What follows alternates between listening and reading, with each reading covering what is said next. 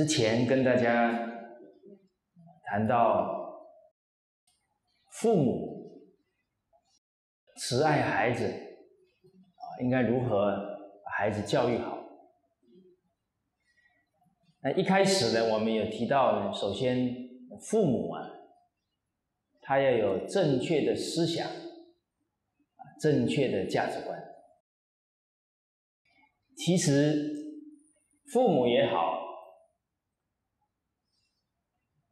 当老师的也好，当领导的，以至于是长辈的身份，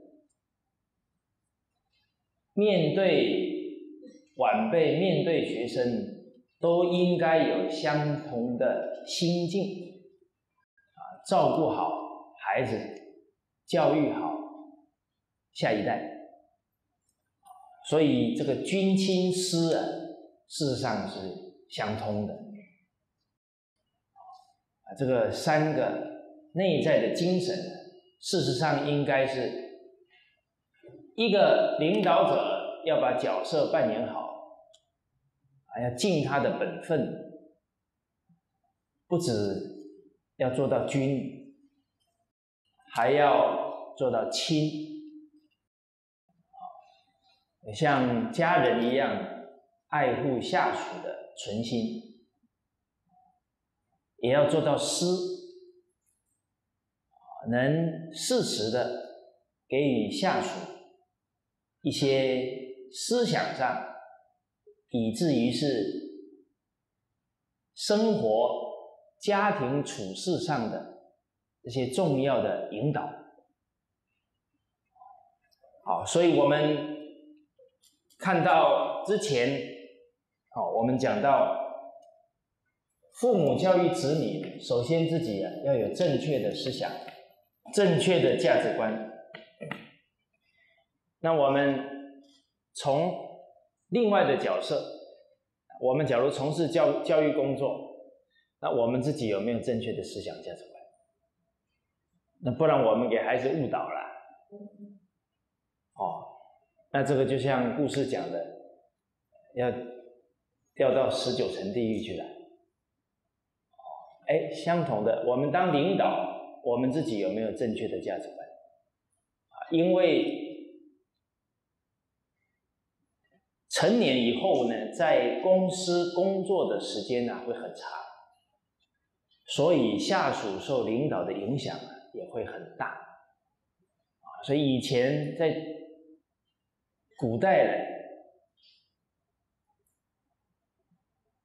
一般都是官员来领导老百姓，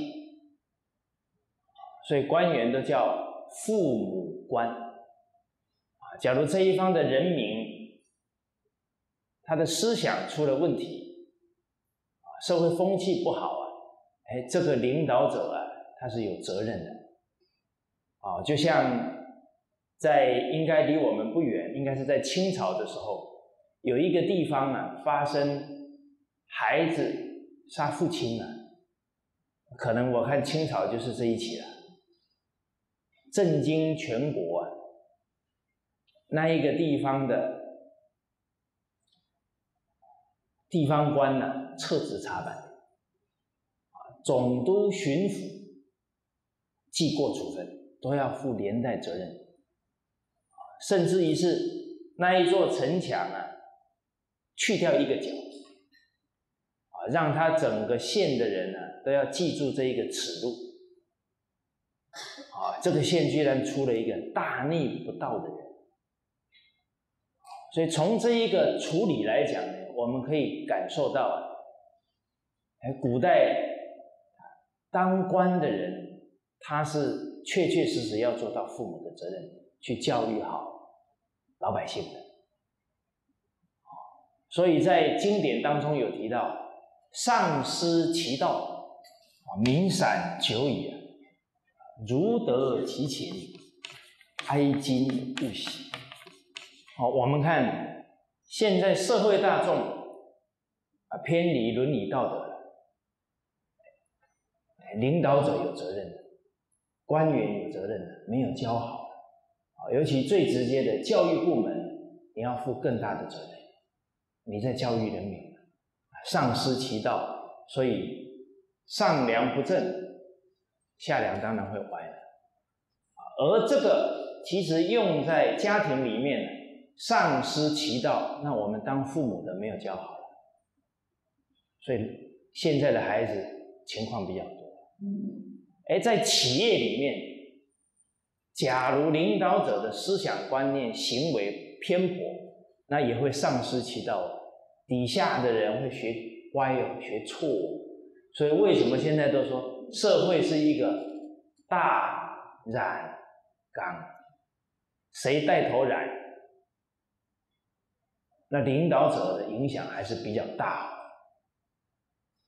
所以为什么我们几千年来把军亲师摆在这么重要的位置，在一般的祠堂？立的这个牌子叫“天地君亲师”啊，这三个角色跟天地并列，那代表提取这三个角色，要能真正做出天地的无私啊，去爱人啊，去尽他的道义本分啊。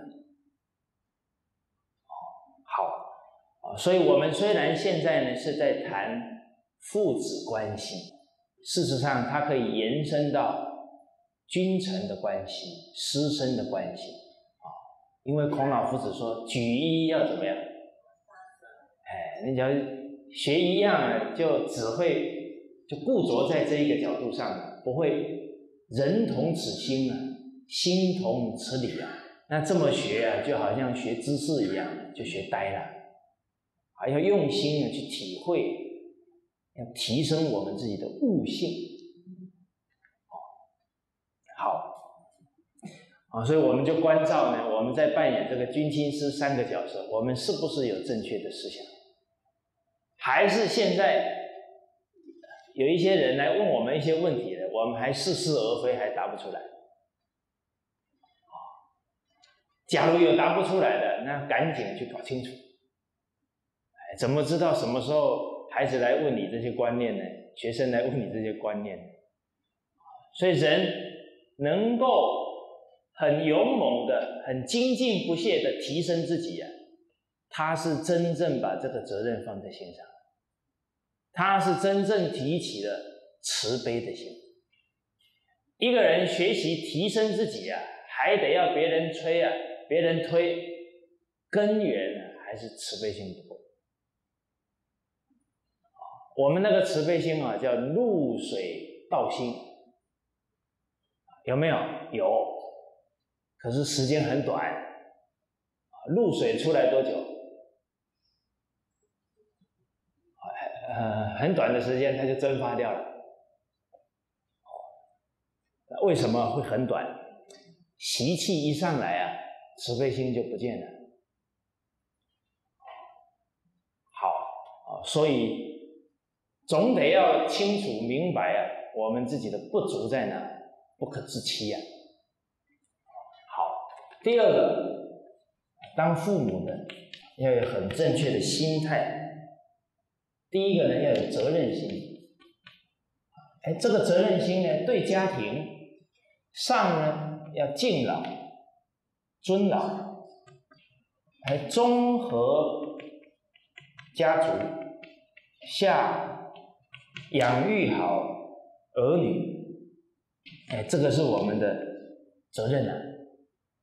所谓恩义、情义、道义的态度，哦，这是责任心。而且呢，孩子啊，他不单是属于家庭的，他也是属于整个社会，甚至于是我们整个民族。所以，我们夫妻的结合啊，为什么要一拜天地啊，二拜高堂？这很有道理啊！一拜天地就是代表夫妻的结合，养育好下一代是对社会、对民族的责任。啊，所以这一个心境呢，我们也要能体会到。孩子是社会的，是民主的，啊，假如您的心境更大一点，是宇宙的，哎，心境不同啊，教育孩子的格局就不同。今天假如是换做是当老师的人，那他也要有这样的责任心啊。哎，这个孩子以后他在家庭当中能不能过着幸福的日子，扮演好他的本分，这是我们当老师要思考的。假如当老师的人的心态只是他下一次考试考好就好了，他不会去思考这些问题啊。但是你不能怪这些老师的，为什么？这一些思考，这一些心态。他们在师范学院有教吗？有强调吗？所以在这个时代啊，传统文化断了两三代了。假如啊，要把责任一直追溯上去啊，可能没完没了，是不？啊，这个儿子说：“爸，你怎么没教我？”爸说：“找你爷爷去。”哎，去找爷爷爷，你怎么没有教我们？你爷爷说，找曾祖父去，然后就三个人站在坟前，那怎么办？你现在是老师怎么没学好？老师说师范学院没教，哎，去找师范学院，师范学院你为什么不教？教材没有编，啊，这是教育部你干什么？我从小也没学。那找他爸去啊，是吧？算了，啊，在这个时代，最重要的不要让这个悲剧继续下去才重要的。哦，好，啊，所以这个哎，当老师的心态有没有想到孩子他未来一生的幸福？我们应该教他什么？有没有想到呢？孩子是社会是民族未来的栋梁。一般呢，像我们在台湾，小学的老师是吃整个国家社会的俸禄啊。那假如我们没有尽心尽力了，那对不起所有的百姓啊。为什么？领的是老百姓的捐的税呀，你得为这一个。地方的人负责任的，所以公务员呢要注意啊，不认真的话，欠债欠多少人？在台湾还好一点，两千三百万，在大陆就很惨，十几亿哦，哦，这个这个做牛做马啊，都不知道要做多久才还得了。所以人哦，明白因果就不会干这种傻事了，他就不懂。孩子觉得哎呦贪了点钱呢，我可真聪明。这个叫小人冤枉做小人。好，所以社会大众信任我们这些公务员，我们就应该要对得起才对呀。哎，这个是一个当老师的心态。哎，当领导的有没有这样的心态？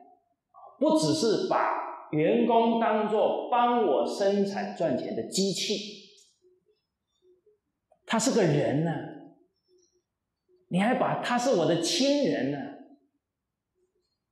我要给他幸福啊！哇，那心态完全不同了。资本主义啊！他就不知不觉啊，那个思考就是赚到钱，然后就是生产模式，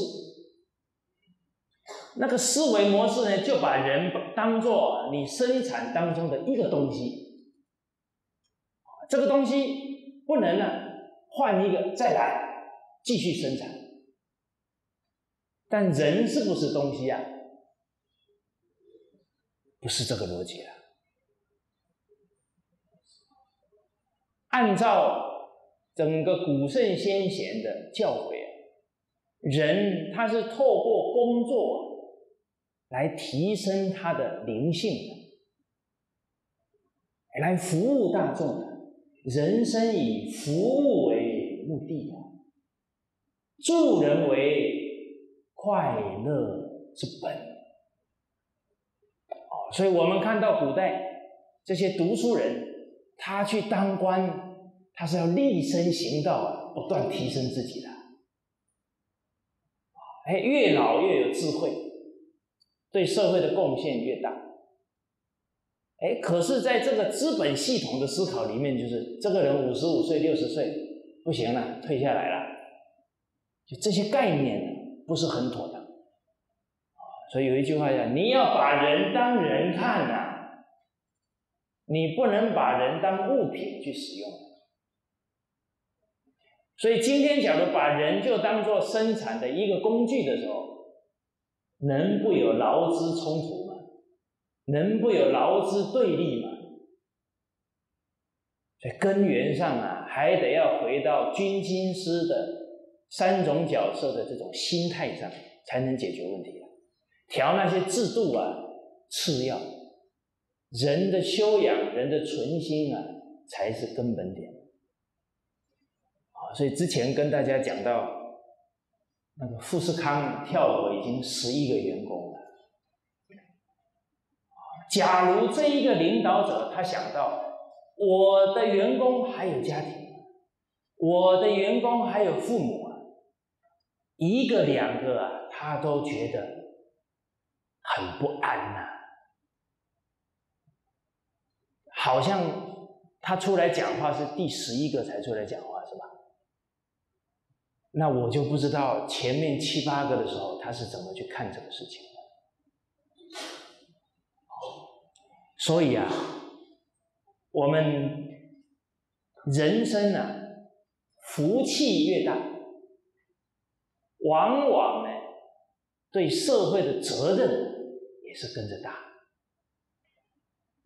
我们不能想那个福啊，不尽那个本分义务啊，道义啊。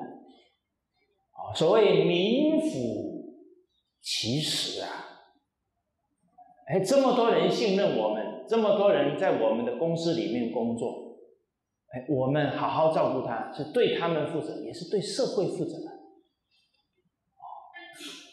所以，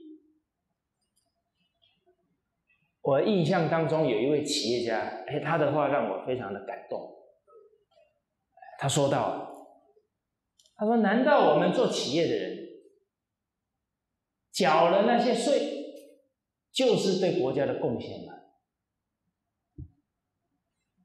假如这些年轻的员工到我们公司里来，变得会赌博了，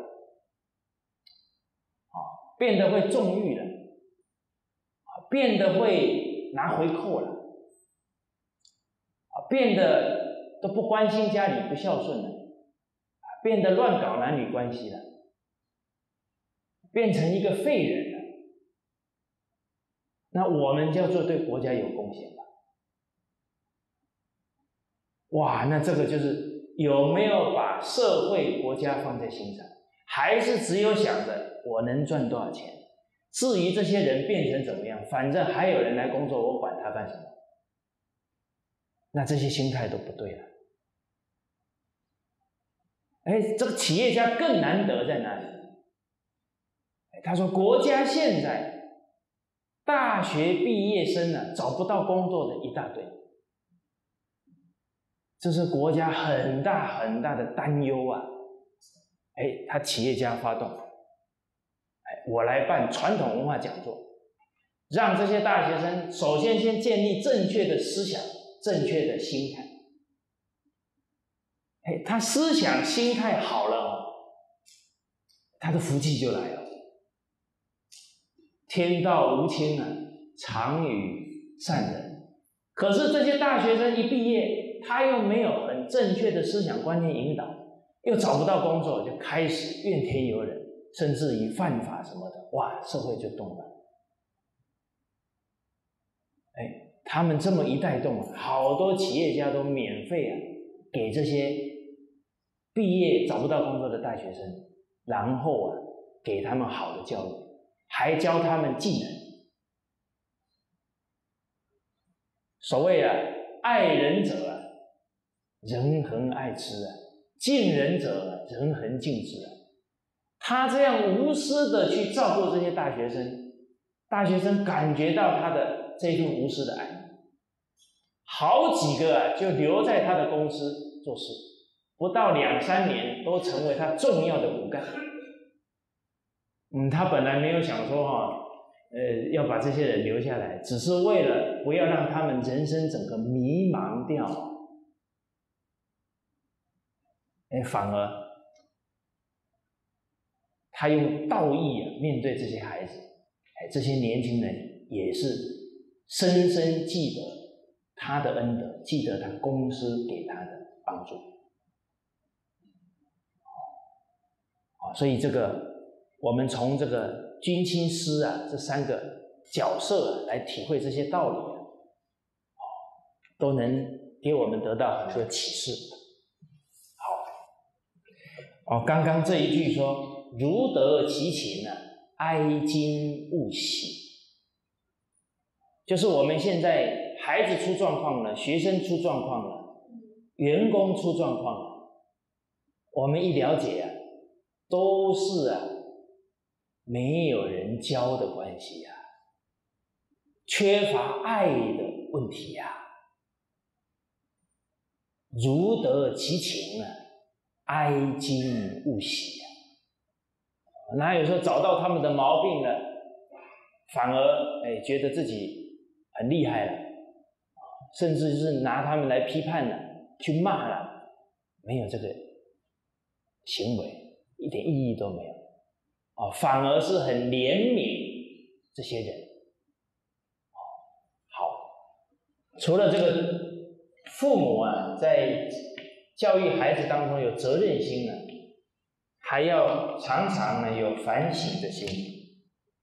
啊，为什么要反省呢？父母啊，就像大树的根，这个。孩子啊，就像果实一样，这个果实酸了，那一定是根出了问题了，不能说果实不好了，它总有源头。哎，所以当父母的人，孩子一出状况呢，都能这样去反思，那很多家庭出现的一些状况。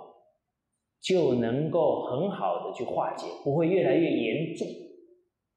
所谓化危机为转机，这个根源还在父母的心态。哎，反省哦，叫各自责哦，天清地明哦。哎，可是假如不反省的是指责了，那就麻烦了。可能孩子出了点状况。夫妻就吵得没完了，都是责怪对方的问题了，甚至还怪孩子，甚至于说不认他这个孩子的，那就麻烦了，就都没有反省的态度啊。所以果子酸了，一定要反省，这根本出了问题，是我们当父母的人首先要负责。而父母有这种深刻反省的心呢？哎反省、惭愧是性德啊，才能感人啊。所以有一个父亲呢，他明白这些做人的道理、传统文化，哎，他就对他两个儿子说到呢：以前爸爸哪里不对，做的不好，没有把你们教育好，是爸爸的错。非常真诚的给他的孩子讲，他的孩子那个时候行为都已经比较偏颇了。都都二十几岁了，还讲完了。他说：“爸爸，重新来学，重新来改。”哎，结果后来他爸爸确实是学的很认真，哎，自己转变的也很大。一家人血浓于水啊，就感觉到了。后来他两个儿子的行为也转过来了。其实说实在的，人都不愿意。活得没意义了，人也不想糟蹋自己了，哎，只要这个家庭氛围了，父母长辈带动了，这个风气就能转了。所以这一个父亲呢，我是亲自见到他。他在跟我谈这个事的时候呢，他两个二十几岁的儿子，通通在这一个幸福人生讲座里面在张义工。啊，我们这个吃的那些有机的什么馒头啦，啊，那个沙拉啦，都是他儿子做的。他儿子心境转变出来，就去学这些技能。哦，啊，所以反省自己呢，第一个我们的。在心性上有没有什么不妥当？第二呢，我们在教育孩子的方法有没有不恰当？啊，这都要去反省。啊，第三，我们当父母的教儿教女啊，先教己，正己才能化人啊，都要有这些正确的心态，而且懂得正己啊。谨慎的态度就出来了，哦，一一言一行、一举一动都要给孩子做好榜样。好，这个是心态。再来，我们就谈到了整个教育的部分。啊，家庭最重要的自要莫如教子。刚刚这个反省正己啊，其实当老师、当领导的亦如此。啊，我们教书，今天孩子不能教好了，马上就骂骂他，骂他的父母了，这个都不妥当。哦，那都是指责别人的，我们的自己的心性对不对？我们的方法对不对？其实一个老师有爱心哦，那个一般人觉得哈没有办无可救药的孩子，往往到他面前呢，就像绵羊一样。为什么？那个孩子也渴望人家的信任，渴望人家的爱。哎，终于有一个人真的能相信他了，他的那个善就会在这个人的面前显露出来。哦，好啊！当然，我们当领导、当老师，时时提醒自己来正经化人。这个教育方面呢，我们有提到第一个，信心。当然，对自己要有信心。也要信任所有的孩子、学生、哦员工。人之初啊，性本善，而且我们要有很有耐心。而人有信心之后啊，就不偏心。哎，相信每一个人都可以。哎，偏心的话呢，就是指对哪些人好，另外的都不信任他们，排斥他们。那一偏心呢，这个家庭啊，败相就落了。心一偏，人心就不平，所以可能兄弟姐妹啊，孩子之间呢，就有对立，就有隔阂了。哦，都比较疼弟弟。这个妈妈一不在了，这哥哥马上哦报仇，是吧？告诉大家啊，我。两个姐姐从来没有偷捏我，哦，我感觉那个兄弟姐妹那种情感哦，真的是太可贵了，哦，我这个是随时啊一想啊都会想到一幕，啊，就是呢，我基本上呢从小就这么瘦。啊，然后呢小时候又长不高，我是高中的时候才算长上去的。念初中的时候，我们那些女同学动不动就走过来跟我比身高，他们不能怪他们，哦，他们不知道这对我是很大的压力啊，信心的打击。所以小时候呢，长得又矮又瘦啊，那些年龄比我长的男生呢，哇，就有时候就要欺负我，围过来。当我姐姐。发现的时候，不管是大姐还是二姐，就冲过来。哎，不管他有三个人还是五个人，他一个人就单枪匹马，像赵子龙就阿斗，我怒发冲冠，真的哦！过来之后，那些男的都被他吓跑了。你说他那个时候哪想说打不打得过人家？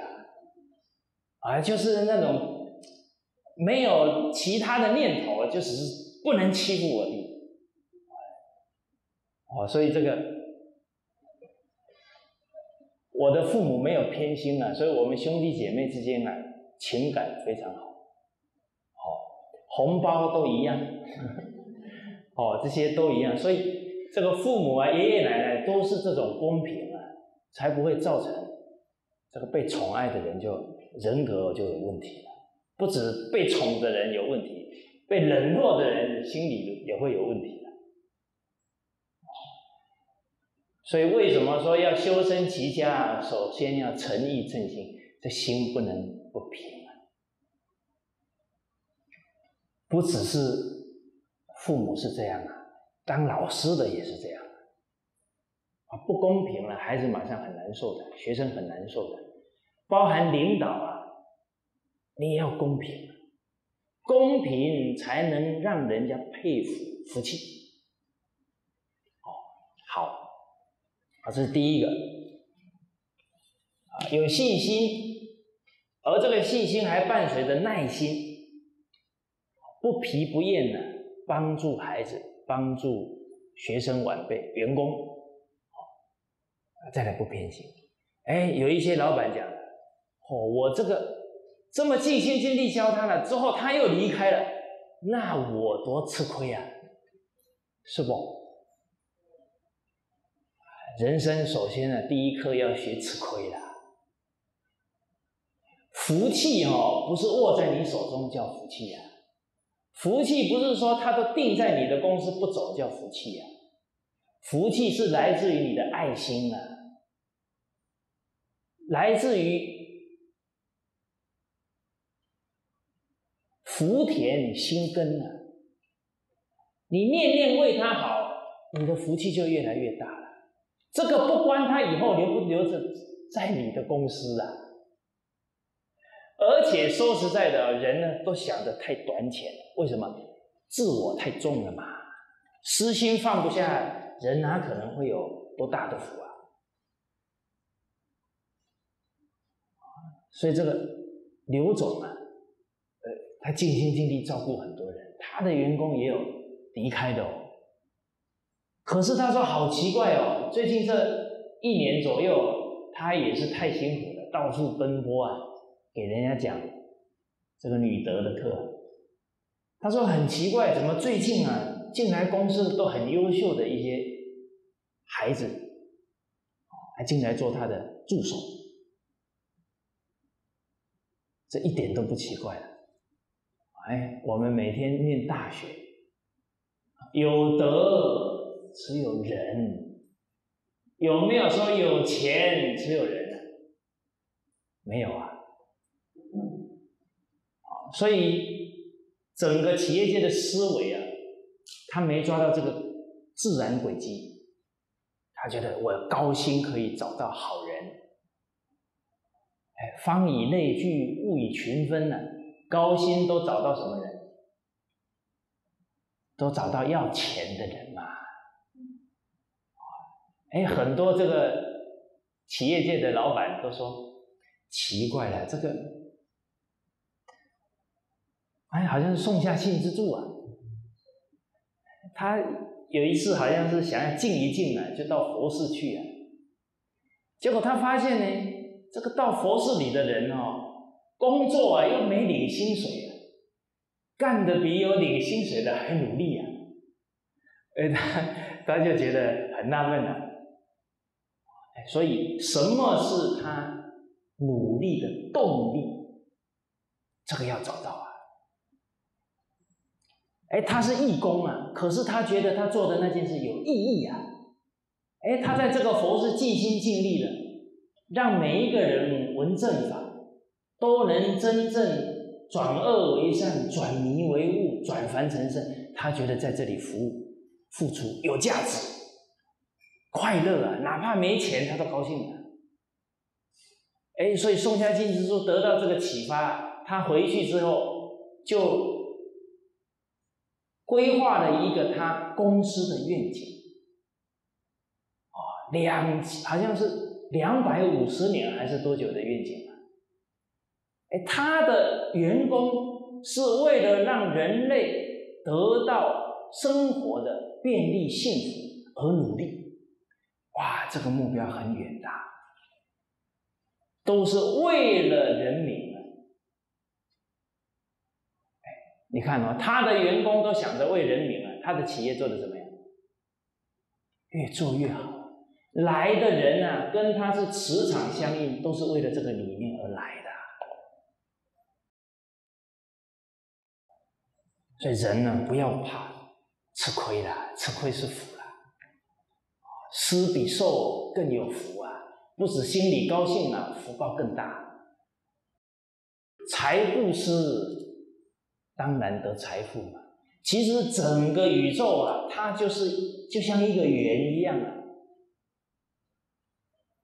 你今天付出，不管你对哪一个员工付出，就它也是宇宙的一部分了。它会像一个人一样，又回到我们自身了。出乎尔者，反乎尔者啊。哎，你们的表情好像没有听过这一句啊！我上次好像有解释了啊。哎，出尔反尔的意思，事实上是种瓜得瓜，种豆得豆啊。哎，大学里面也都是讲到这个，言背而出者，易背而入啊；或背而入者，易背而出啊。你用不法的手段，迟早要吐出来的，那不是你的。啊，所以呢，有一句俗话叫“打人就是打自己，骂人就是骂自己”。哎，这个是很很符合逻辑的哦。你今天揍他一拳，哎，他没打我啊，他不敢打我啊。哎，可是还有下一句话等着我们：君子报仇，三年不晚。哎，他他三年以后打你哦，保证加利息，对吧？砰砰，哦，然后假如我们还不了解，那又去这个愤怒又打他，那叫冤冤相报，没完没了。所以你打人啊，看起来这一拳不见了，那个影响你造的业啊，随时在等待机会。再回到自己身上，叫不是不报，时候未到。打一拳是这样的，给人家一个鼓励也是这样，给人家爱心，给人家帮忙，终究会回到自己的身上。所以以前的徽商啊，都明白这个道理啊。当别人很落难的时候呢，他们不会。落井下石啊，帮人啊，好援人以手，必得他人相援助，这个都是商道里面讲的。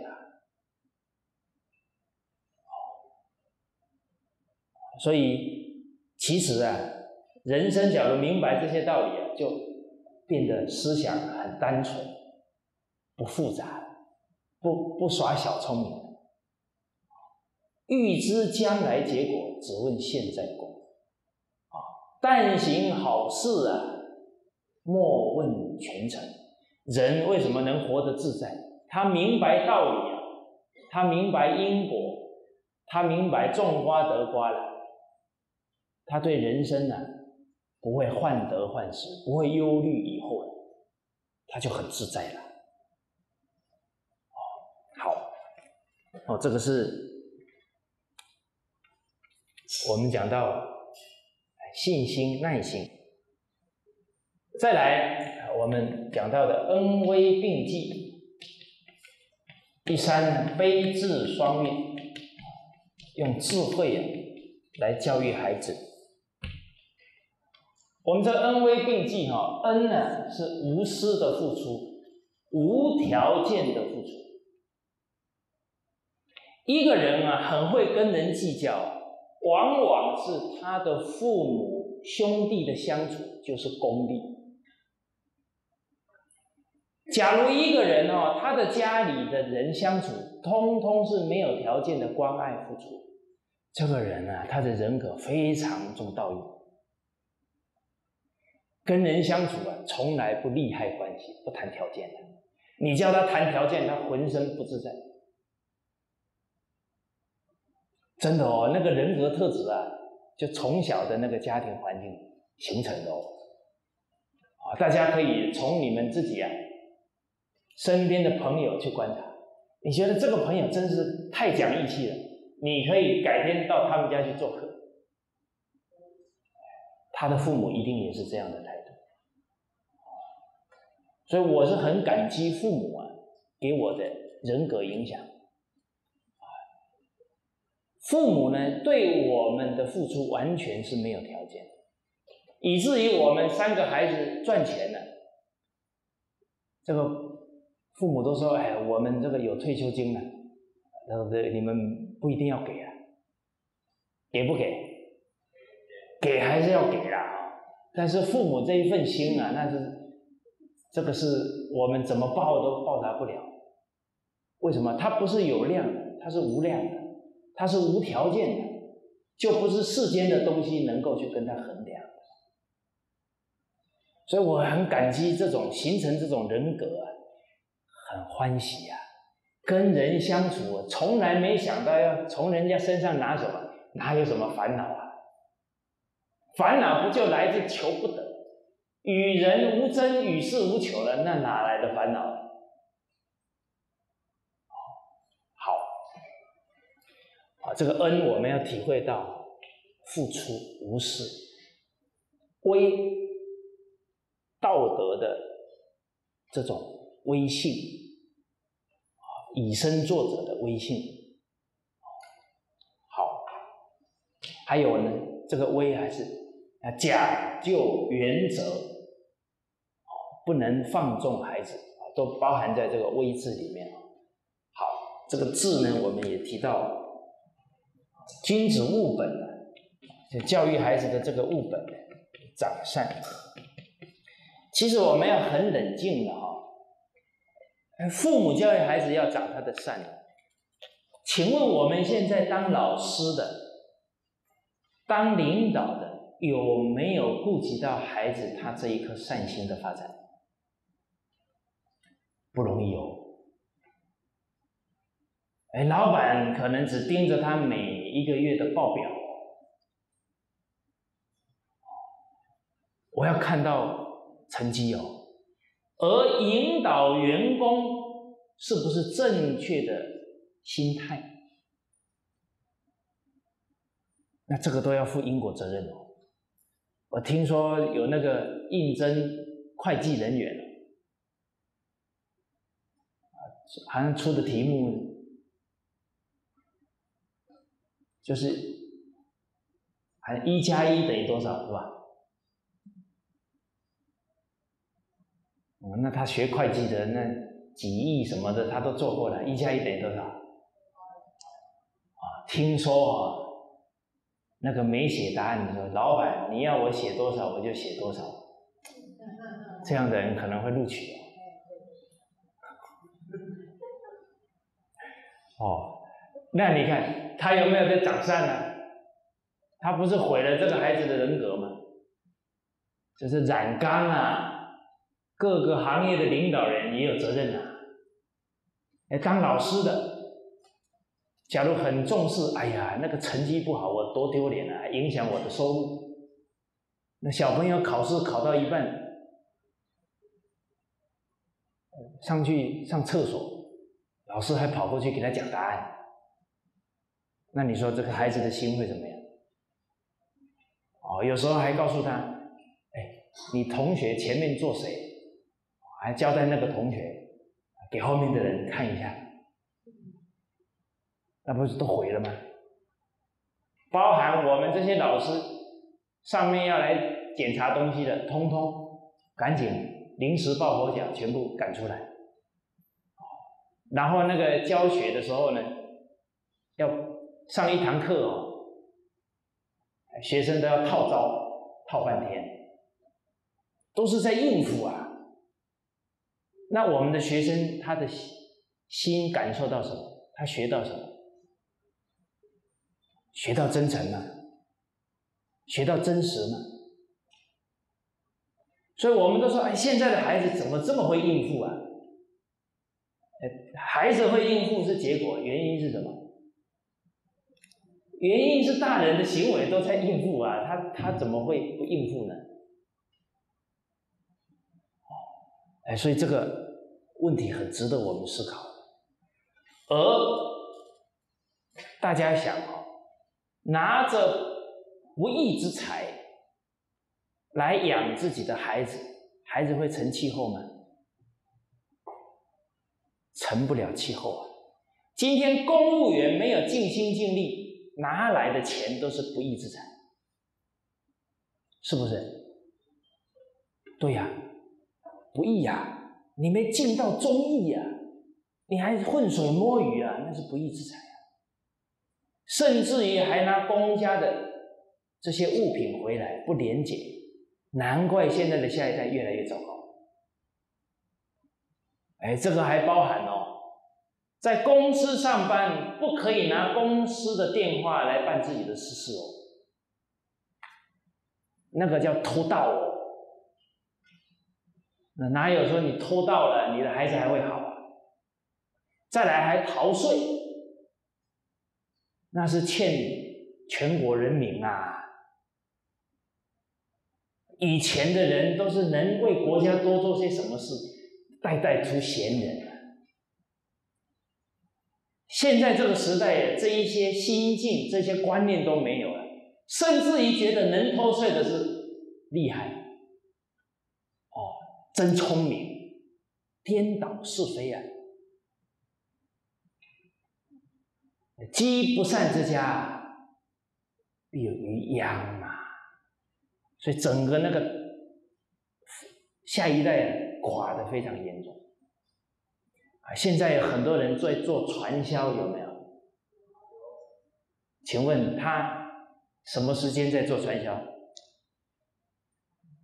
假如他上班时间还拿着公司电话做传销，这个都是偷盗了啊！所以这个观念呢，也要告诉社会大众，不然他们再怎么努力，通通都是。肮脏的钱，不义之财。努力有结果，不会有好结果。我们看，确实啊，军亲师的心境都是相通的。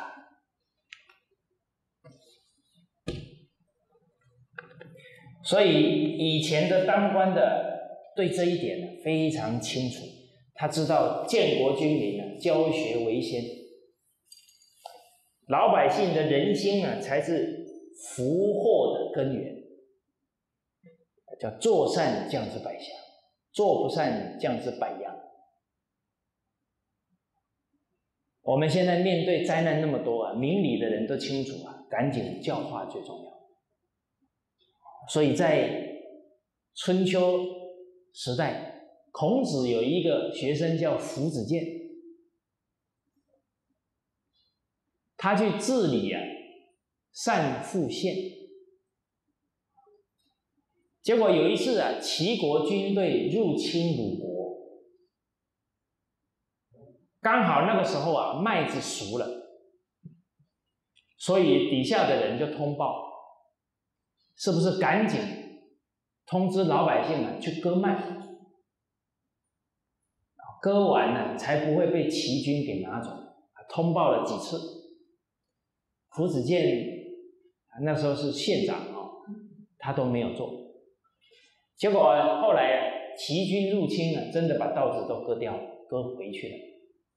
这个消息就传到季大夫那里，结果这个季大夫啊就很生气了，就来找他。底下都通报了，你还不割麦？你看损失了，还让齐军给拿走了。结果夫子健。就跟着季大夫讲，这个时候啊，我们想一想，麦子被割走了，再种就没有了。可是，在这种兵荒马乱之际啊，假如通知人民去割啊，一定会很混乱，一定有人会啊趁这个机会去割别人的麦子，贪这个便宜，这个叫趁火打劫，一定会造成这个现象，而让老百姓贪图这个便宜呀，这一个风气一起来。就不见得是一代人能够把它改善的，可能要几代的人才能再把这个人心啊风气转过来。哇，你看哦，这读书人看得深不深远？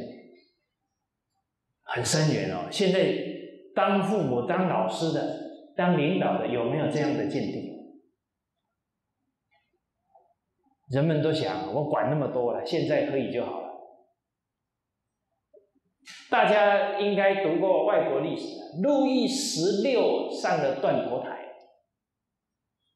他的父亲路易十五啊，就干了很多荒唐事啊。人家说，那你以后王你的那个王权就完蛋了。他说啊，我管以后什么洪水滔天呢，不关我的事了。嗯，你看有这样的爸爸，就有上了断头台的儿子。结果这个福子健呢，一这么从老百姓的人心的角度分析给这个季大夫听了，可贵在哪？以前的人懂啊，他纵使做不到呢，你一讲，他就觉得哎呦呦，对对对，有见地啊。所以这个季大夫说：“哎呀，假如现在可以挖一个洞，我真的想跳进去哦，我实在愧对这个福子健大夫了。”哎，所以这个也是。启发我们这个长善重要。第二，好，我们上一次的也提到胜于死。再来呢，防微杜渐。啊，我们有一些俚语啊，哎，像我们有一句闽南话呢，跟大家分享一下。因为闽南话呢，应该是唐朝的。国语啊，你唐诗啊用闽南话可以念出来，用北京话念不出来，因为它有押韵，叫平赏去入，哦，所以现在可以念唐诗的呢，客家话、闽南话，可以念唐诗的，最起码都是几千年的。呃，这句俚语叫“岁寒涛湾古”。大汉，你的偷看母，翻作一般讲的叫小时偷针，大时偷金。这个闽南话，小时候去摘人家的那个葫芦瓜，你长大了就是偷牵人家的牛了。哎，这个都是防微杜渐的态度了。所以有一个孩子呢。有一天呢，就偷摘人家的水果，就刚好被他爸爸看到了。这个父亲呢，可能看孩子的年龄也不小了，啊，马上给他教训了。旁边还有人，他很难堪呢，就没当场指责他。回到家。拿了一本书，《华盛顿传》，就把华盛顿砍砍断父亲的这个樱桃树哈，啊，那一翻出来哈，放在孩子的床边，希望孩子自己看了自己来认错。结果呢，当天吃完晚饭呢。他儿子没有任何动静，这个父亲一看呢，哎，他好像不承认他的错，啊，又写了一张纸条，说：“孩子，你今天有做什么错事吗？”放在床头边，还是没动静。隔天呢，看他没反应了啊，当然呢，这个教育孩子还要抓住时机的哈。这个父亲啊，就过来跟这个大男孩啊谈话了。说儿子啊，哎，今天呢，因为他的父亲呢是也是当老师的，他说今天有一个老师啊跟我讲，说他看到呢有那个孩子啊爬墙过去呀摘人家的水果吃。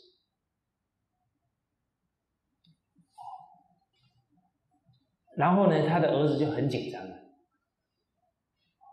他说：“那那个老师有没有看清楚是谁？”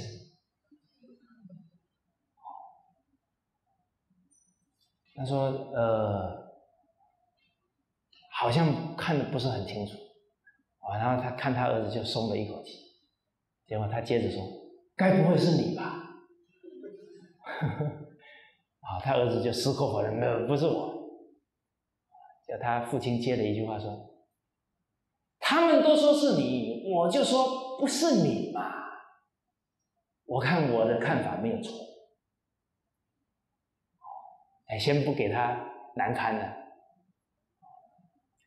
然后接着这父亲讲，他说：‘儿子啊，这个爬上去偷人家果子的孩子的父亲啊。’”假如知道了这一件事情啊，这个父亲会非常非常的担忧跟后悔。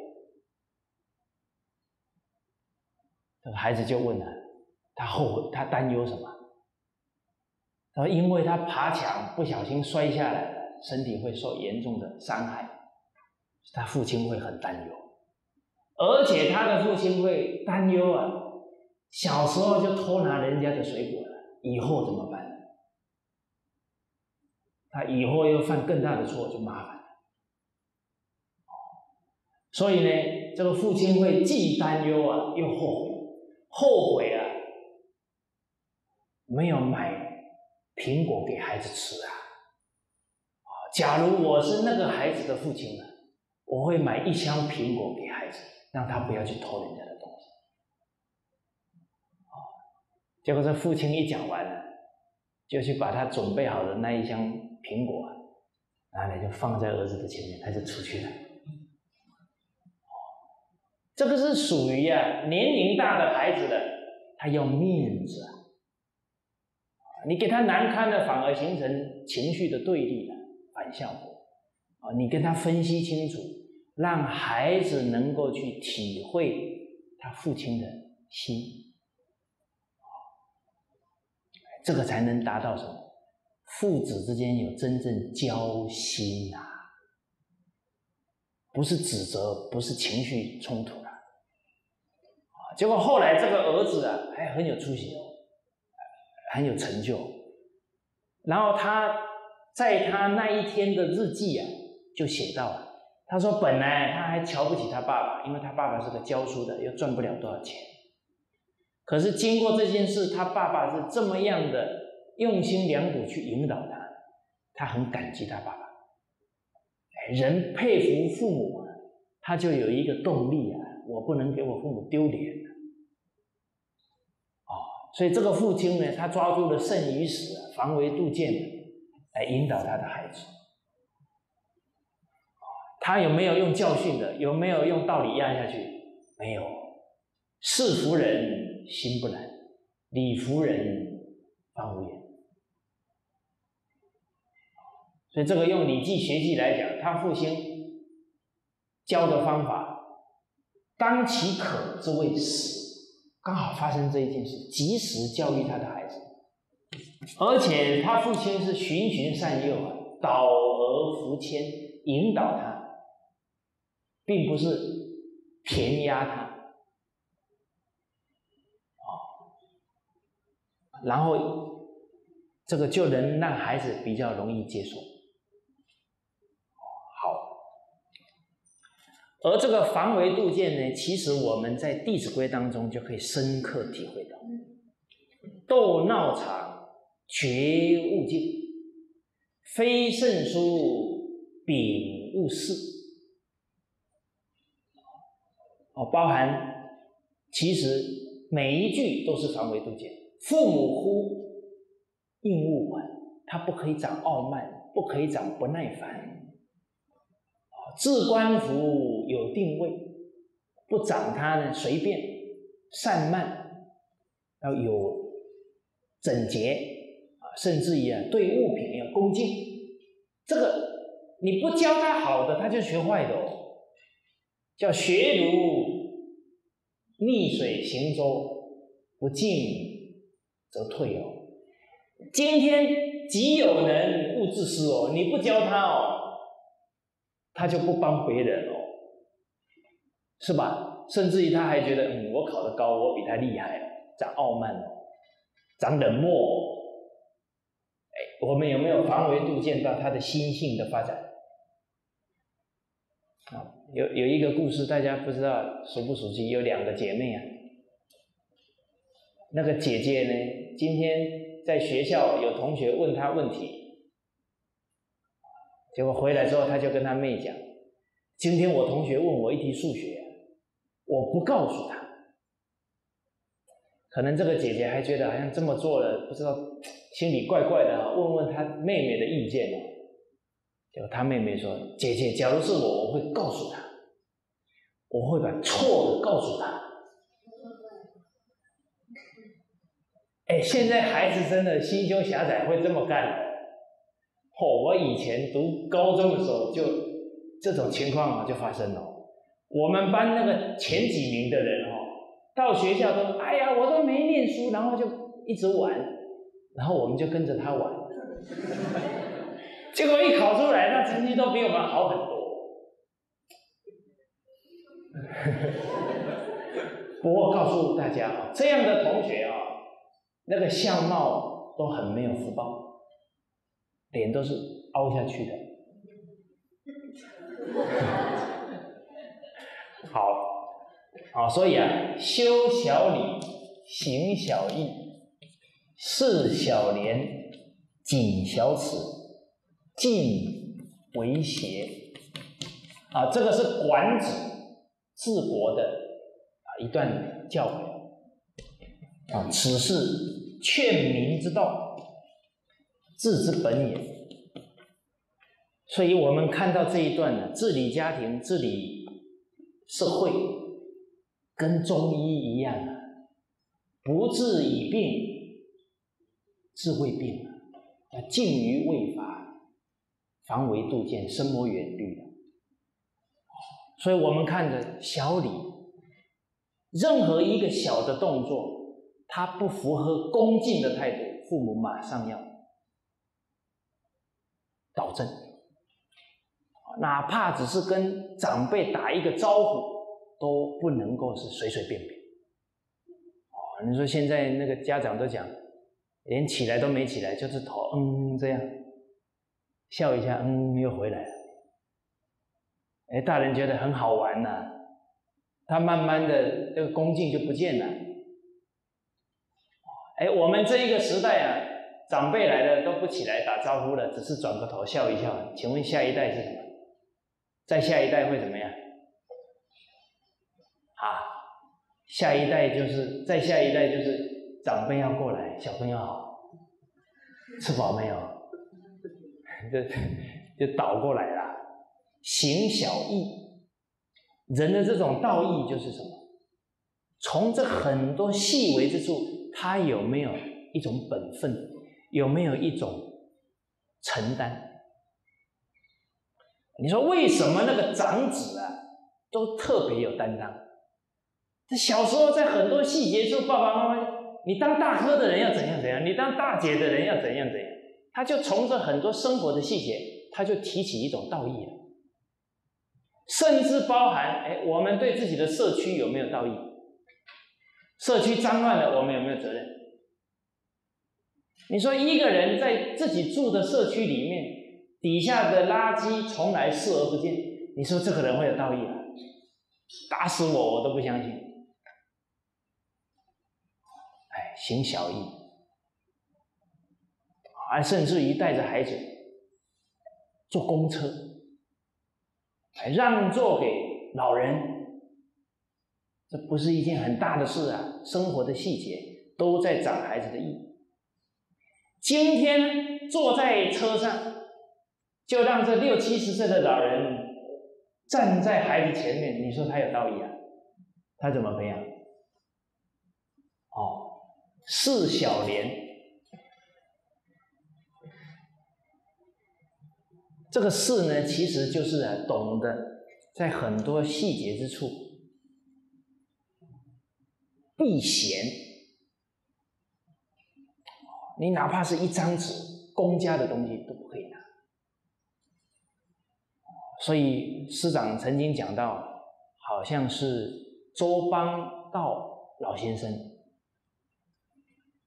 非常廉洁啊，公家的电话呢都不用，私事不用公家电话，自己出去公共电话打，然后只要是公家的车，自己私人的事情不做，打公车。这个我们光听这个故事啊，就非常感动了。我们今天真正遇到的周老，那真的。他那种德风啊，就感染我们了。它包含俭以养廉，所以要让孩子以后是廉洁的，首先他一定要是知足、很简朴。甚至于我们没有贪，没有这种行为，可是这个动作还会造成人家误会。都要避嫌，哎，这个就四小廉了，就好像陶陶侃，他当一个渔业的官员，他哪怕是自己买的那个鱼罐头寄回家里去呀，他妈妈可能都会叫他不要这么做，是不是？避嫌呐。这个不知道李老师讲长理学有没有讲到瓜田不纳履，李下不整官呢？哎，这个都是很多细节处啊，就懂得去避嫌。最后呢，谨小耻啊，一个动作不妥当的，都会觉得耻辱啊。这样人呢，他就不会放纵，很注重自己的形象，很注重自己的德行，啊，就像好像德育故事里面，比方说女子于妇德、妇言、妇功、妇容，是吧？哎，做的不妥的，都觉得是耻辱，不孝、不悌、不聪、不信、无礼、无义、无廉，都觉得是耻。甚至于做出来的动作啊，都觉得会给父母丢脸，哇，这个人就谨小尺了。哦，你比方说这个孩子到那个那个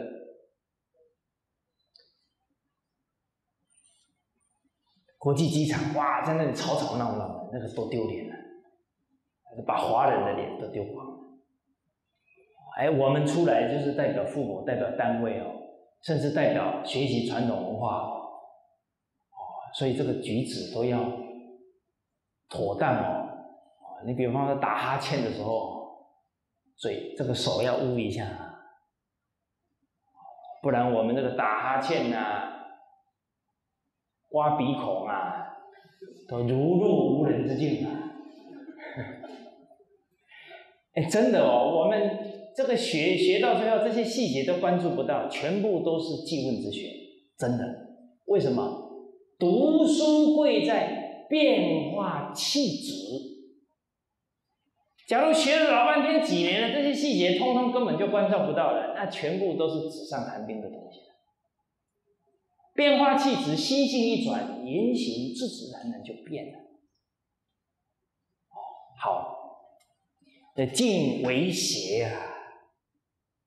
这些刚一开始的很细微的，都懂得要去调整、去对治，去引导孩子改过来，劝民之道啊，治理家庭、治理国家社会啊，应该从这些地方下手，防微杜渐啊，从这个人心啊，不要起邪念。下属。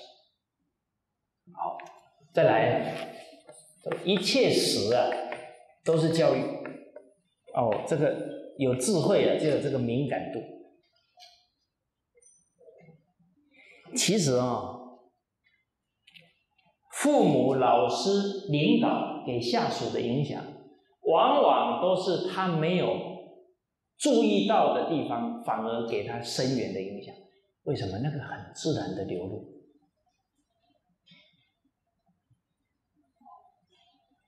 这我自己呀，就回想到很多成长过程的情境。比方有一次呢，我跟母亲啊，回回外婆家，结果那一次是坐计程车啊，刚好那个计程车不小心啊，开到水沟里面去了，那个排气管坏了，结果到了我外婆家。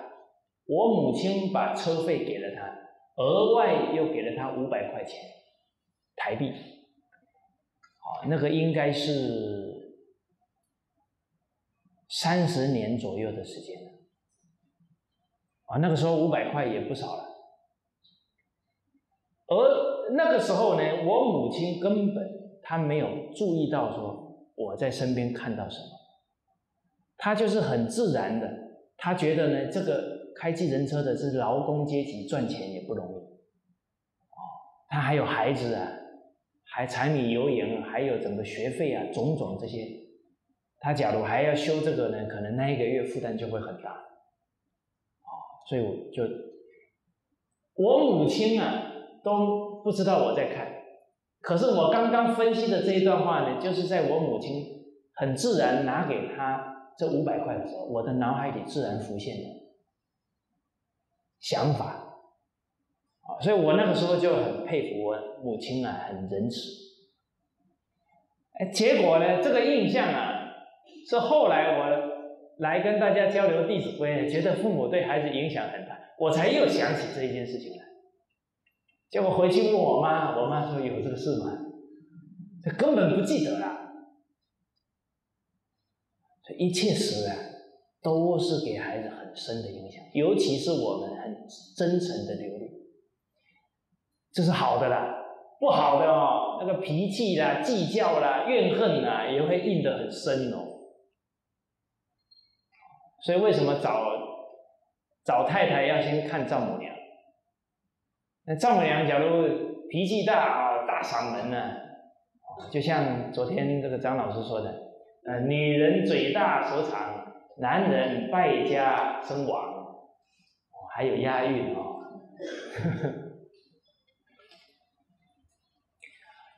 我的这个父亲呢，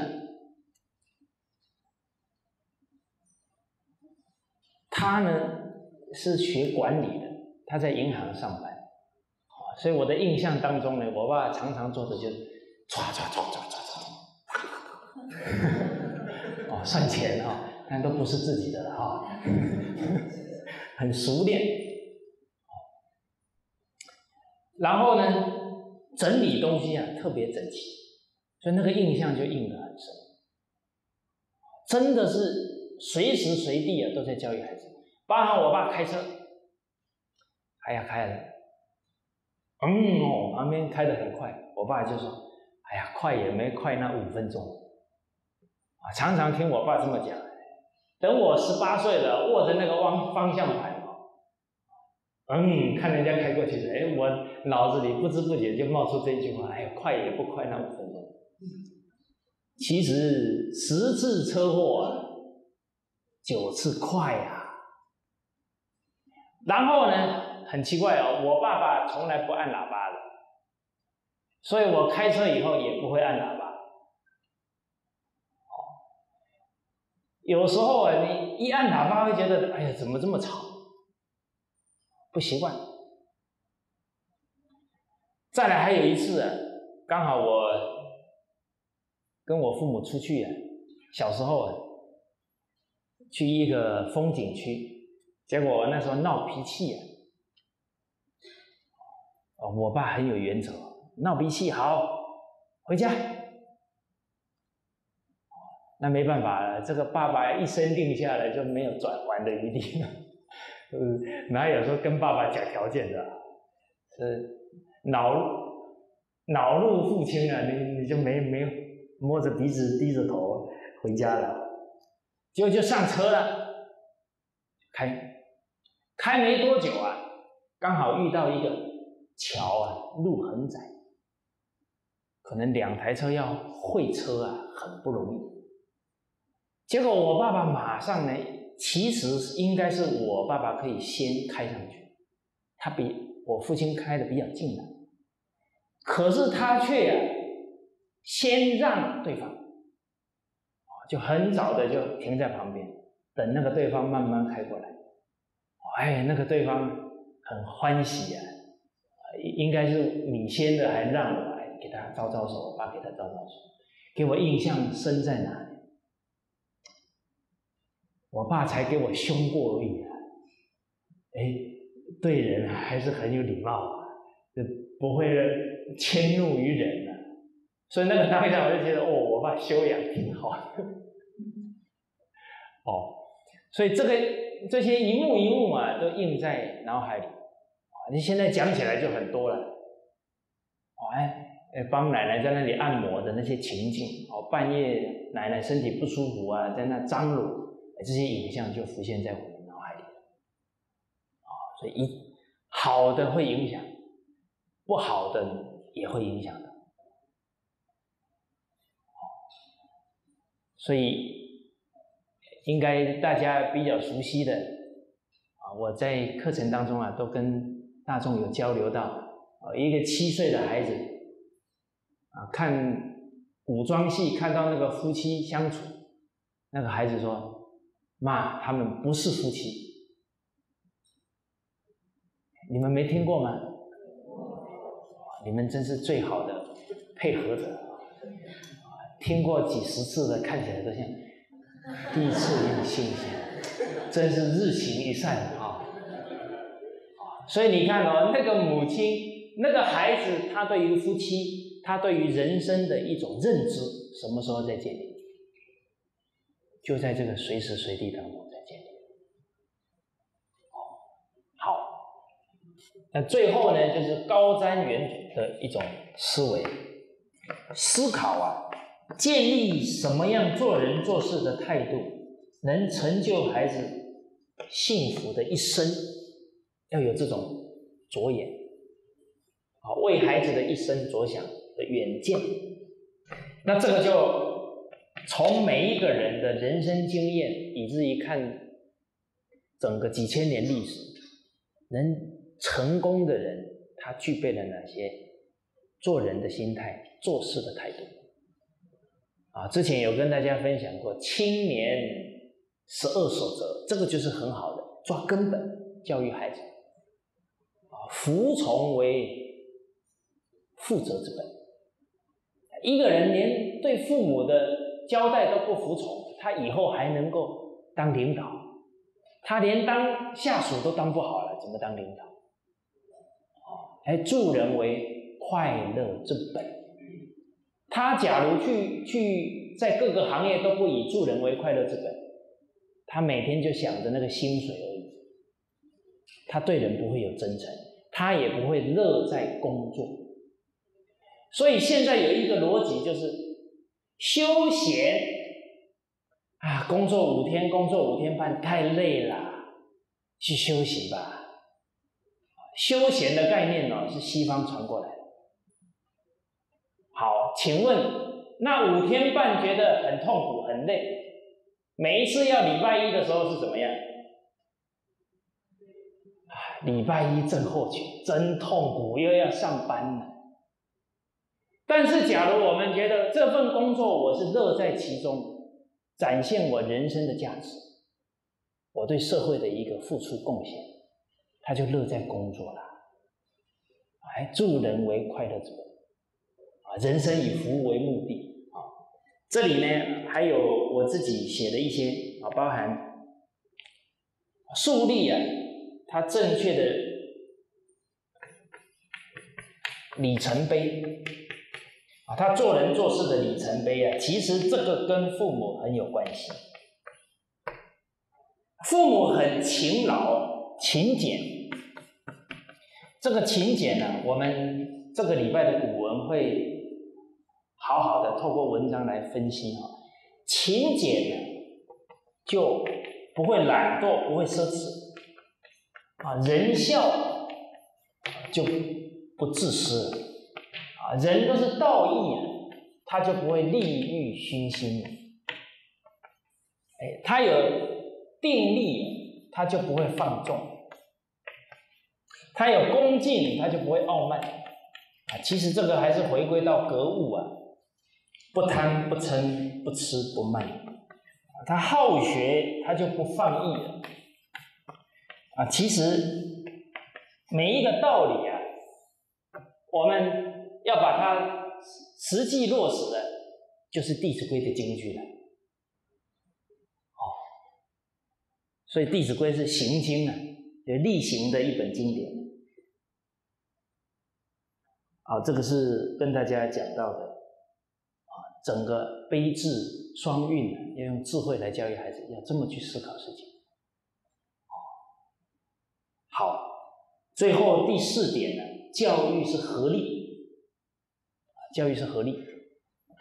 第四个大点啊，家里人的合力，父母亲师的配合，父母老师配合，所以要让孩子能扎下德行的根呢，还得跟家长。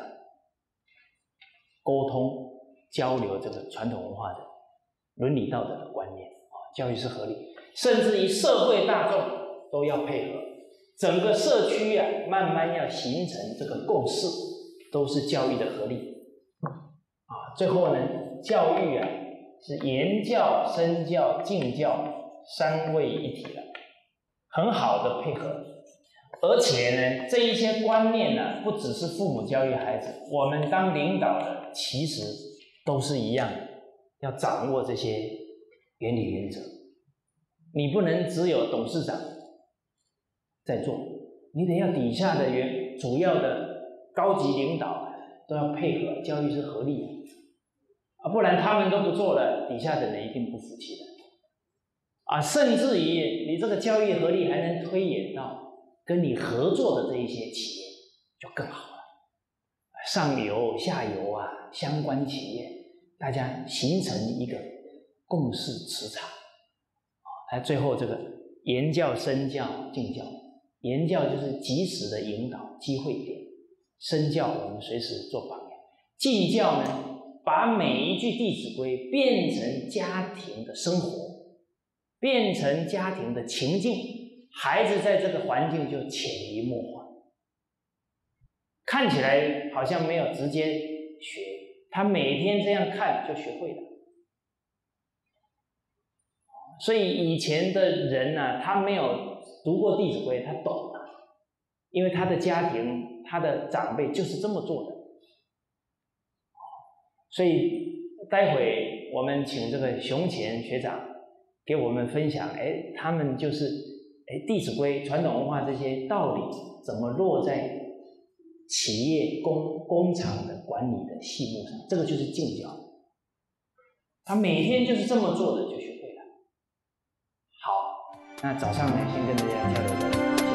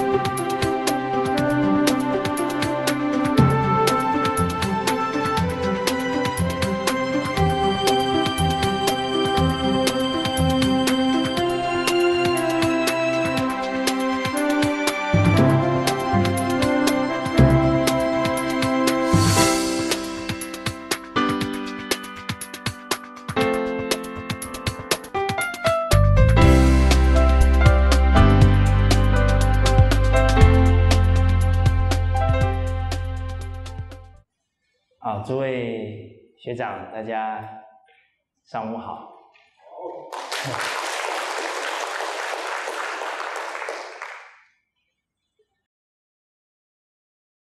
这我刚刚发现了，我拿的这个笔记本拿错了。哦，所以这个叫。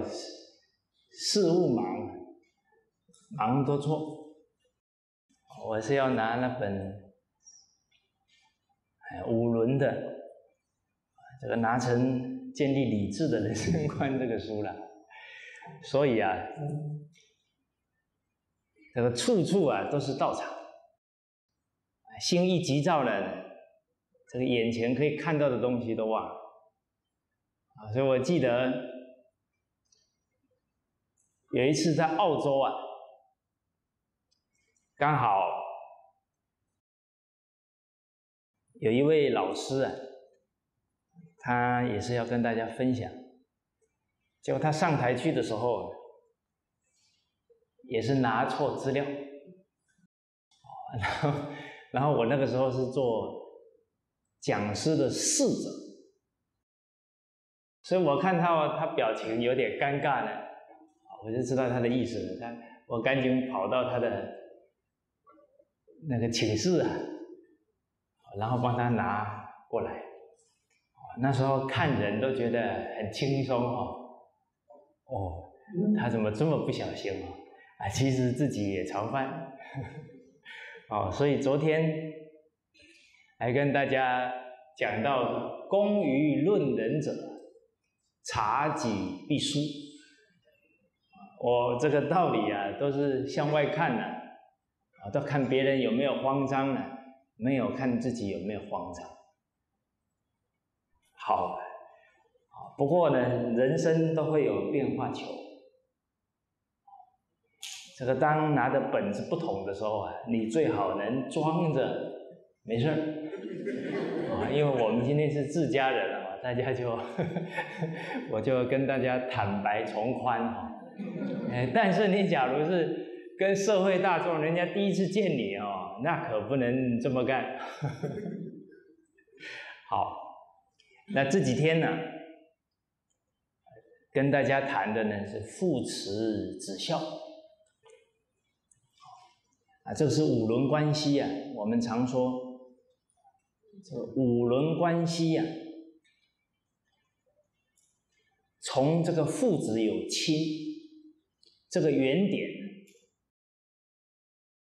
推展到对一切的亲人的亲爱，啊，到对一切家族邻里乡党，啊，以至于社会大众，啊，推演到呢，凡是人皆需爱。而孩子这个天性能够终身保持啊，一定跟他的家庭教育。很有关系，所以我们说父母啊是孩子呢第一任的老师，那非常重要。所以以前为人父母者都有一个态度在孩子的面前呢，一定要给孩子做最好的影响。我们思考。父母啊，是孩子最亲爱的人，也是影响最深远的人。假如父母都不和谐，他能相信人与人能够和谐吗？哦，这是一个我们很值得思考的问题。啊，假如他的父母之间彼此都没有安全感，那我们想一想。这个孩子能学到安全感吗？能学到恩义道义吗？所以现在很多人都很难相信别人，在人格上有一些缺憾，有一些负面的态度、情绪，都跟他父母的夫妻相处啊有一定的影响。所以，真正爱护孩子，那绝对要把夫妻的和谐带给孩子，给他好的人与人相处的影响。那一天，我们听张红梅老师提到，啊，她说她结婚这么多年了。对他的先生呢是完全的信任，啊，对王国清老师没有丝毫的怀疑。大家想一想啊，孩子能不能感觉到？可以哦。哎，我的母亲对我父亲也是这样的态度，没有丝毫的怀疑。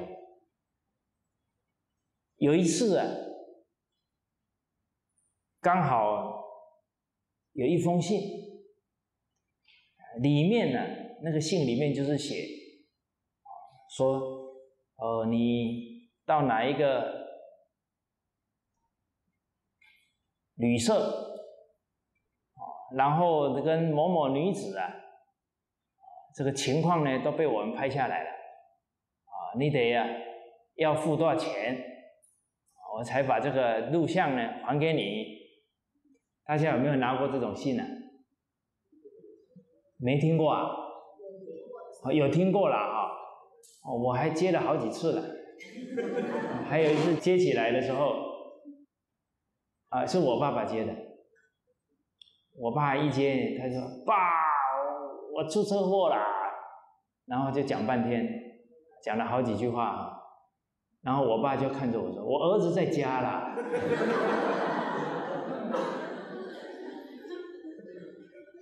现在社会当中啊，欺诈的事情太多了。但是欺诈的根本问题在哪里？怎么化解？我们现在呢，要看家庭问题，要看社会问题啊，每一个人都可以看到很多。但是我们懂不懂得怎么去化解？而且是从根本解决。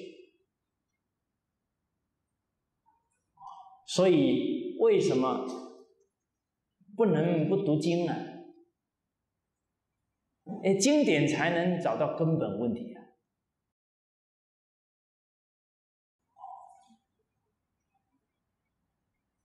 管子，讲到了“国耻则用废，用废则民贫”。民贫则奸自身，奸自身则邪巧作。奸巧之所生，生于愧不足；愧不足之所生，生于此；此之所生，生于无度。啊，故啊，省度量。节衣服，俭财用，尽奢泰，为国之极也。其实我们看到这个“国”字啊，治国跟治家的原理一样，也跟治天下都一样。所以，我们只要看到这个“国家”，都可以推到齐家治国平天下的道理，相通的哦。好，我们看“国耻”。一个国家奢侈的风气起来了，大家消耗啊就很大，消耗大了就贫穷，贫穷呢又想奢侈，又想要虚荣，他怎么办？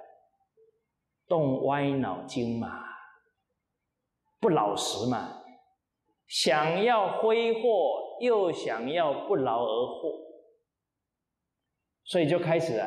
民贫啊，贫穷了，又想要享受的时候，他就开始设计骗人，所以奸自身，邪巧作。所以奸巧之所生呢，生于什么？他觉得他不足，他虚荣心一直没有办法下来。所以大家有没有发现呢？很多人根本就没有什么赚钱能力，都想要开跑车、住大房子，那个虚荣心没有办法掌控。所以愧不足之所生，生于此；此之所生，生于从小就大手大脚的花钱，没有去管父母家里的状况。所以奢侈啊，挥霍无度，才是整个社会奸巧的根源所在。大家想一想，三十年前有这些事吗？都没有。那你说一个人的无度从哪里开始的？还是从家庭教育啊？所以社会的安定啊，绝对跟家教息息相关。哦，所以我们从这里就感觉到那个家人卦里面提到的。正家而天下定矣呀，所以为什么夫妻结合要拜天地也有道理啊？你攸关天天下的安危啊！所以一个家也好，一个国也好，一定要开始什么量入为出啊！这个是我们几千年来不变的道理，勤俭为持家之本。结果不知道这几十年什么时候开始变化的，先享受，后付款，贷款。这个在五十年前呢，一个人没钱，然后还买好的车子、好的房子，人家会怎么样？无耻啊！没钱就没钱了，还借钱，是吧？这么没志气。还享受，但是问题来了，等他享受之后啊，欲是深渊哦，他想更好哦，所以反而是那个真的很有钱的哦，都穿的不怎么样哦，然后那个没钱的都要装阔，啊，所以这个也是我爸爸，他一辈子都在银行，他说那个跑车开越好的哦，常常。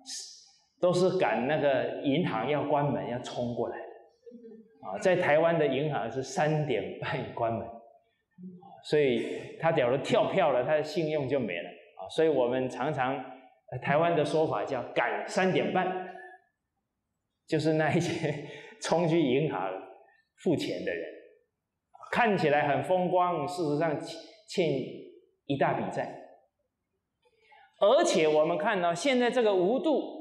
都是谁在无度啊？没赚钱的人在无度。你说这个社会再不扭转回来，勤俭的正道，这个社会没有未来了。所以你说信用卡，那大学生一个人拿几张？好几张啊！那他怎么能节制呢？哦，所以省度量，量入为出。从这里啊，真正懂得父母啊，要常父教子，再有钱都不能给孩子知道，啊，不然他就觉得我们家有钱嘛，哇，这个富二代，这是大陆的名词哈。这个很有钱的企业家的第二代叫富二代啊，他们的概念里面都觉得我爸爸妈妈的钱就应该是我的钱，所以呢，我这一次回去呀，听到一个故事啊，说有一个节目呢，就找了这个富二代。然后啊，帮他们找女朋友。我说这个节目也真是够无聊的。这个，呃，你有钱人你就帮他找女朋友。结果那个节目当中啊，就四个男孩，都差不多二十岁上下啊，然后就叫他们用头啊去撞西瓜，啊，这。这个都是当小丑啊，然后前面两个就真的把他撞破了。第三个说呢，我今天呢不是为了要撞给那个女孩子看，我是要证明呢我的头是可以把它撞破的。啊，这个还有点志气啊，哈，不谄媚啊。第四个年轻人上去了啊，没有撞，直接从口袋里拿出一万块钱。放在桌上，各位观众，谁上来把这个西瓜撞破，这一万块就是他的。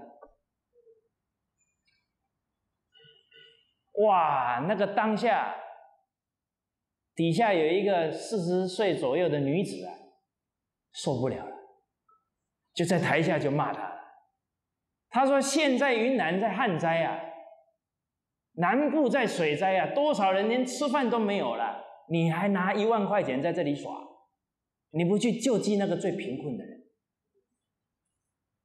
哇，这社会还是有公义的啊！结果有个三十几岁的男人跑上来就要揍他，他那个气焰实在是受不了了。但是说实在的，谁教过他？不都是宠坏了吗？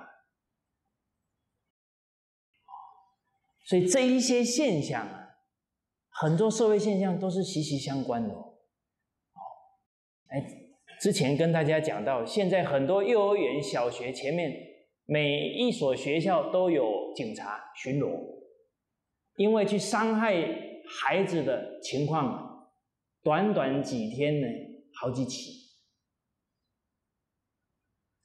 所以孔子在《论语》里面讲到啊。不患寡而患不均啊！不怕大家都没钱三五十年前的社会，大家都没什么钱的，互相帮忙，很有人情味。结果现在贫富差距一太大了，人心不平。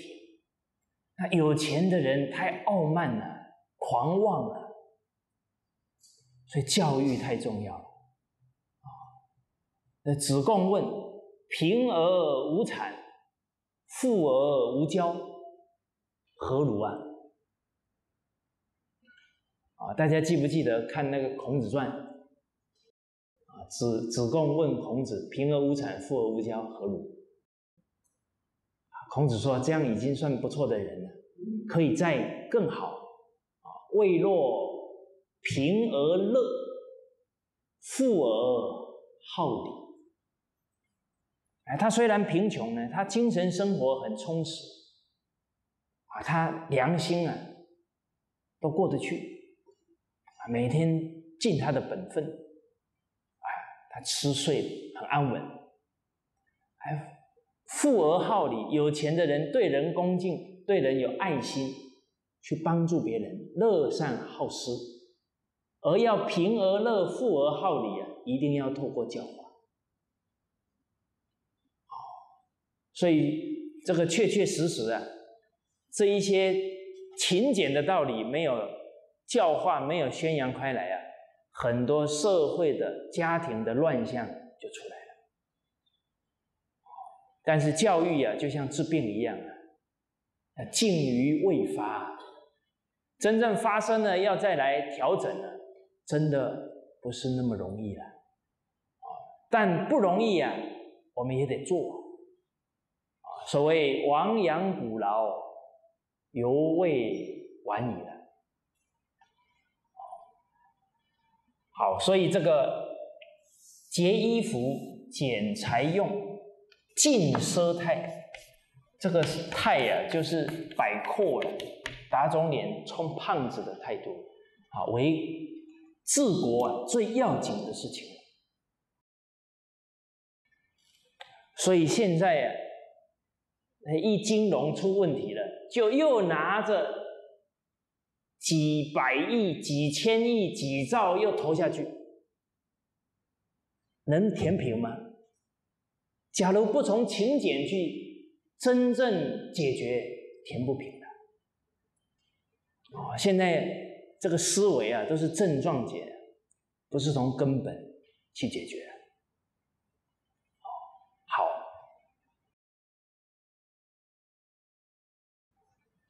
哦，所以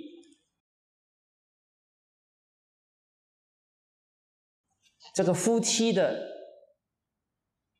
人生态度啊，你要包含互相信任、互相感恩、自家勤俭，这些啊，都应该夫妻都要有这个共识才行。所以我们常说呢，缘分成熟啊。哎，夫妻的结合啊，攸关家庭、家族啊，以及未来社会的安定，这个是大事，要很谨慎啊。所谓男怕入错行，女怕嫁错郎，这是从女子的角度讲啊。从男子的角度，娶一个好媳妇啊，可以旺。三代，啊，娶一个不好的媳妇呢？你们都没有考虑过这种问题吗？这是不负责任的哦。会拜几代？不是三代哈，是一败涂地。好，拜下去就拉不起来了。好。啊，所以择偶啊是重要的，而且呢，在祭祀祖宗的时候啊，那个参差荇菜啊，啊，那个荇菜呢，就是祭祖用的一种植物，都是媳妇去摘的，媳妇去祭祀，很有味道啊。因为一个好的媳妇啊，去祭祀祖先呢，那祖先很高兴啊。哎呀，娶到这么贤德的女子，我的家道要兴旺起来了。哦，所以您看那个祭祀里面呢，谁去做这个动作了，都有深远的意义的。好，所以择偶啊，人生的大事人生最难的不是奋斗。而是抉择，哦，那以前择偶啊，都是父母之命、媒妁之言，现在是自由恋爱，当然，我们传统文化呢，还得要与时俱进。教人以善，勿过高。你现在叫年轻人说让他父母之命，媒妁之言呢？他肯不肯呢？这个也不只是父母的呃子女的问题哦，父母也有。